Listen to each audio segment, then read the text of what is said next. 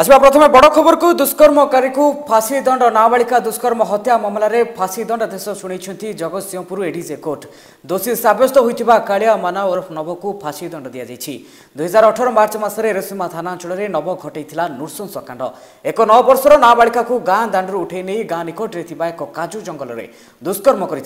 এবং পরে নাবালিকা জনক হত্যা করে আজি সেই দুষ্কর্ম মামলার শুনানি করেছেন এডিজে কোর্ট ন্যায় স্বরূপ আজ দোষী ফাঁসি দণ্ড শুনা ଦେଇଛି ପୁଣିଥରେ କହି ରଖୁଛୁ କି ଦୁଷ୍କର୍ମକାରୀକୁ ଫାଶୀ ଦଣ୍ଡ ଶୁଣାଇଛନ୍ତି ଏଡିଜେ କୋର୍ଟ ନାବାଳିକା ଦୁଷ୍କର୍ମ ଏବଂ ହତ୍ୟା ମାମଲାର ଫାଶୀ ଦଣ୍ଡ ଶୁଣାଇଛନ୍ତି ଜଗତସିଂହପୁର ଏଡିଜେ କୋର୍ଟ ଦୋଷୀ ସାବ୍ୟସ୍ତ ହୋଇଥିବା କାଳିଆ ମାନା ଓରଫ ନବକୁ ଫାଶୀ ଦଣ୍ଡ ଦିଆଯାଇଛି ଦୁଇହଜାର ଅଠର ମାର୍ଚ୍ଚ ମାସରେ ଏରସିମା ଥାନା ଅଞ୍ଚଳରେ ନବ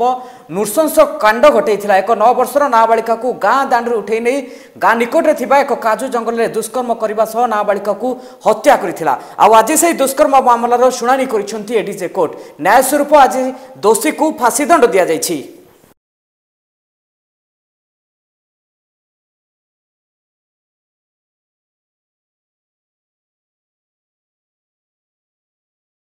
ବିଗତ ଦୁଇ ଏକ ବର୍ଷ ହେବ ପୂର୍ବେ ଗୋଟେ ନାବାଳିକାକୁ ଦୂଷଣ କରାଯାଇଥିଲା ଯାହାକି ଫଳରେ ତାର ଯେଉଁ ପିଲାଟି କରିଥିଲା ତାର ହେଉଛି ଏରସମା ବ୍ଲକ ଏରସମା ବ୍ଲକ ଗଡ଼ହରିଶପୁର ପଞ୍ଚାୟତରେ ଥିବା ଯେଉଁ ପିଲାଟି ନାମବାଳିକା ତା ବୟସ ଥିଲା ନଅ ବର୍ଷ ଥିଲା ସେ ନଅ ବର୍ଷ ଭିତରେ ଯେଉଁ ପିଲାକୁ ଏକ ଚକୋଲେଟ୍ ଦେଇକି କାଜୁ ଜଙ୍ଗଲକୁ ଡାକି ନେଇଯାଇଥିଲା ଯେଉଁ କାଜୁ ଜଙ୍ଗଲକୁ ଡାକି ନେଇଥିଲା ତାକୁ ଏକ ଦୂଷଣ ଗଣଦୂଷଣ କରିଥିଲା ଯାହାକି ଫଳରେ ଯେଉଁ ପିଲାଟିକୁ କାଳେ କହିଥିବ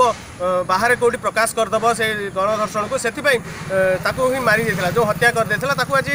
ରାୟ ଆଜି ଦେଇଛନ୍ତି ଜଗତସିଂହପୁର ଏଜି କୋର୍ଟ ଆଜି ରାୟ ଦେଇଛି ସେ ରାୟ ଦେଲା ପରେ ଆଜି ତାକୁ ଦୋଷୀ ସାବ୍ୟତ କରିସାରିଲା ପରେ ଆଜି ତାକୁ ଫାଶୀ ଦଣ୍ଡିତ କରାଯାଇଛି